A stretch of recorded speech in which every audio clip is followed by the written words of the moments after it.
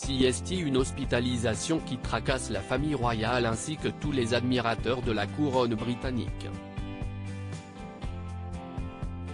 Le 16 février dernier, le prince Philippe, 99 ans, a été admis à l'hôpital par précaution à la suite d'un malaise.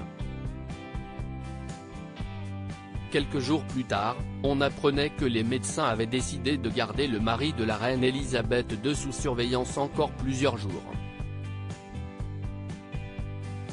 Week-end, le duc d'Édimbourg a pu compter sur la visite de son fils, le prince Charles qui a fait plus de 320 km afin de voir son père. Après avoir passé 30 minutes au sein de l'établissement médical, le mari de Camilla Parker Bowles est ressorti les larmes aux yeux.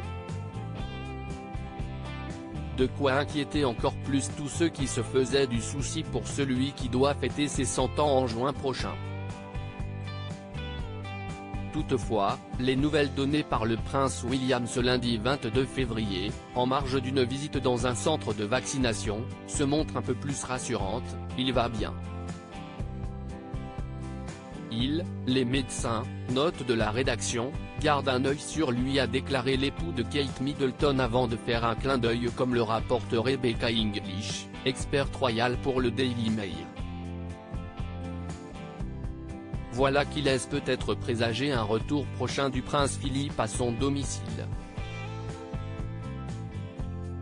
Harry prêt à revenir en Angleterre en urgence pour son grand-père de l'autre côté de l'Atlantique, le prince Harry se montre tout aussi préoccupé par la santé de son grand-père.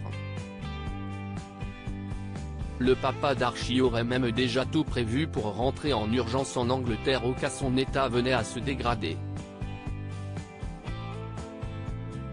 Selon The Express, le mari de Meghan Markle aurait déjà pris ses dispositions, en faisant préparer un jet privé qui lui permettrait de regagner le Royaume-Uni rapidement, afin de rendre visite au prince Philippe qu'il n'a pas vu depuis un an. Cependant si est certainement sans son épouse, actuellement enceinte, et sans son fils que le duc de Sussex va devoir faire le voyage.